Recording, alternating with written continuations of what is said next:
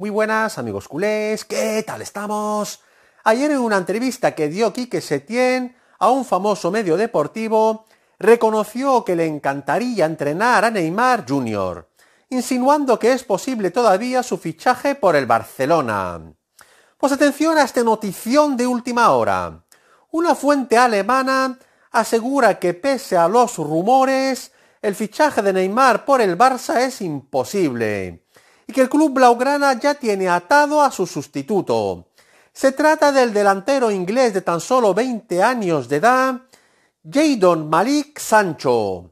La misma fuente informa que el fichaje de Sancho por el Barcelona está más que encarrilado y se hará mediante trueque incluido.